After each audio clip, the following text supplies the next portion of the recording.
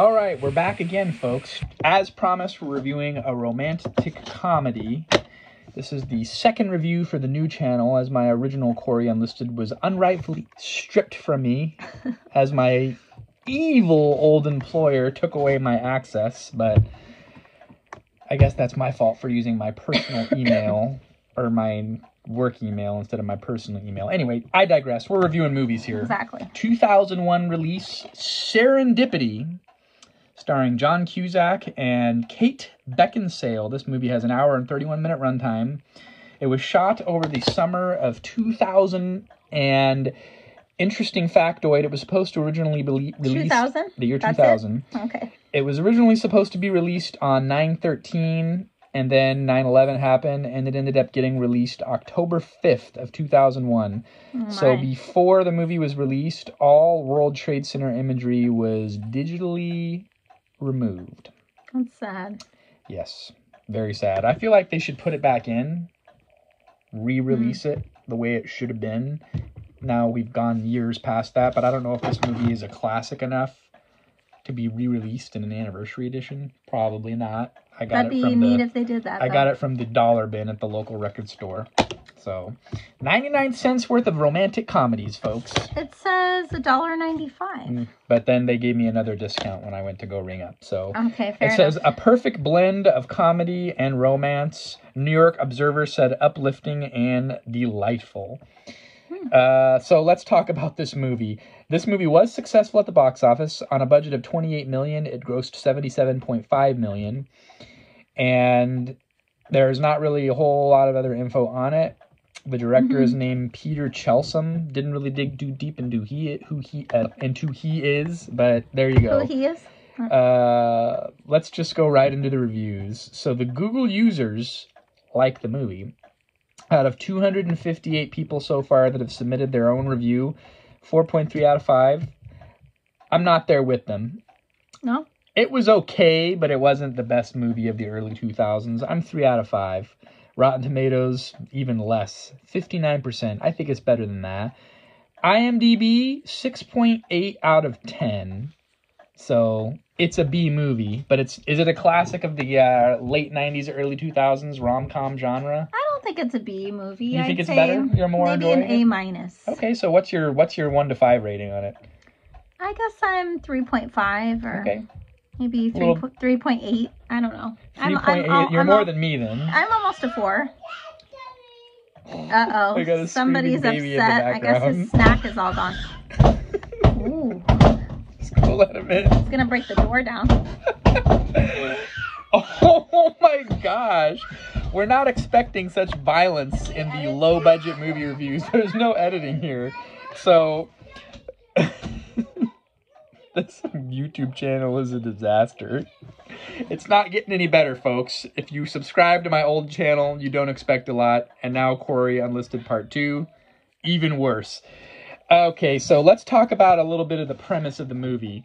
They meet in their early 20s. John Cusack meets Kate Beckinsale at Bloomingdale's in Manhattan. They go to buy the same pair of gloves, the last pair of cashmere gloves in the color of black. She was buying the gloves for herself, he was buying for his girlfriend at the time. And she's all about fate and stars aligning, about people coming together and plays some game. Because he asked for her number even though he's got a girlfriend so that kind of bothered me but whatever it's a movie. They don't end up together. 10 years go by and he's gonna marry some other chick. And but he's still fantasizing about Beckinsale that he met for like a couple of hours 10 years ago and there's a whole elevator scene at the Waldorf Waldorf Astoria that's kind of important. We won't get into the nitty gritty. Just live your life, folks. Don't look for signs and wonders. They could have been together 10 years ago. Instead, she's playing games. I don't play games. Make a decision. Yay or nay. Perhaps that's why I'm still unemployed almost a month since my job ended. All But- right, this isn't about your job. This is about this movie. I was Stay just on- telling stay that- I was just telling the viewers kind of the premise of the movie, and I felt like the whole premise of this movie is her playing games and looking for signs and wonders about who she's supposed to be with. And I think that's She silly. believes but in that's the whole fate point of the yeah. and destiny in the beginning, and then she kind of tries to get away from those beliefs when she loses the guy because she almost has to settle for second best. He wrote his name and number on a five dollar bill and then spent it as change. And she said, if I get it back and change somewhere else, then I'll know that we're supposed to call. I'm supposed to call you and be together. And then she Frivolous. frivolous, I don't know. And then she wrote her phone number Inside of inside a book called "Love in the Time of Cholera." yeah, So it's, then he spends the next several years looking through every copy of that book that he finds, trying to find her number. that's that's so. I guess it's kind of interesting to see It's them, kind of cute. but I like it. overall, it was just okay. Fun fact, factoid about Kate Beckinsale: she doesn't drink, she doesn't smoke, she doesn't do one night stands. However, she was introduced to cigarettes at the age of nine and is a smoker since nine years old, and she's fifty now. Her teeth look really good. They look fake. Oh, I don't know. he always knows when people have fake teeth. I never know. but I'm sorry, Kate cute. Beckinsale, if you're watching this. I don't mean to insult you, but that's pretty much It's very insulting. all that I have to say about very this- insulting about this film. Sorry, Kate. It's a B I movie. I think you're really cute. It's just okay for me. I think you're in a very attractive woman, and I didn't notice that your teeth were fake at all. How do you feel about this late 90s, early 2000s swooped up hair?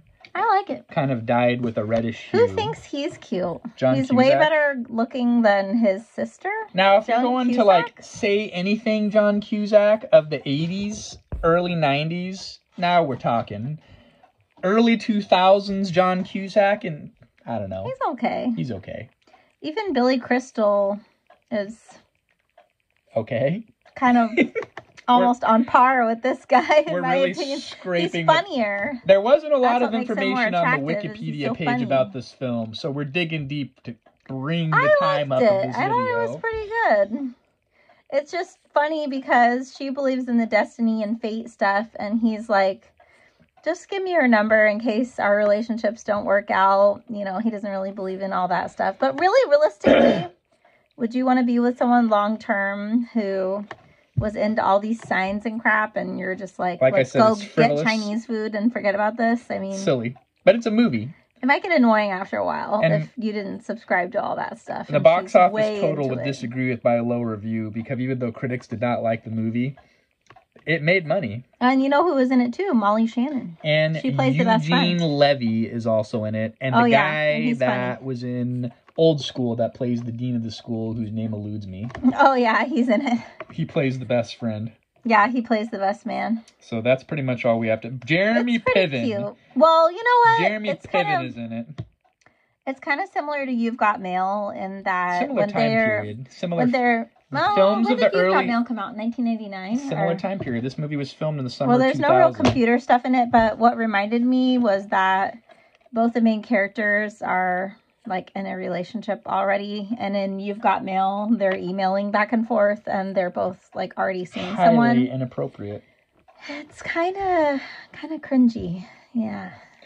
If you don't like cheating, it's it, this movie pissed me off because he's engaged to be married to a lovely woman. John Cusack is engaged to be married to a lovely woman. I believe her name is Halley. and the in whole movie. time he's trying to find out two days before his wedding he's trying to find out how to get in touch with the kate beckinsale character and going to great lengths to do it and i'm like this is such a disservice to this poor woman she's a victim in all of And it to her credit, they don't really show anything like wrong or. there's bad no reason her. for you to hate this other person there's no seems like bad nice lady. On the other hand, the, the, Kate character Beckinsale. for kate beckinsale her boyfriend was just kind of Yeah, he's like in this Eastern New age musical band. and it's just kind of annoying. and he's, like focusing on his musical career and you can see that beckinsale's kind of taking a back seat so i could see that's kind of a detractor but the whole john cusack relationship him sabotaging He's kind of cute though. It's played. He's played by the same guy who's in You've or not You've Got Mail. Um, My Big Fat, Greek, Wedding. So yeah. if you like that long kind of almost curly, wavy man hair look, he's got long hair. I mean, for a dude. okay we're coming up on 10 Sometimes minutes men have long let's hair. let's wrap it up any final Anyways, thoughts he's he's you know he's he's nice and he's a little clingy though because she goes to new york and he follows her there and he's like sleeping in the hallway of her hotel room like kind of stalking her and says like i missed you or whatever it's like really you couldn't just let her go away for one weekend. You had to follow her there.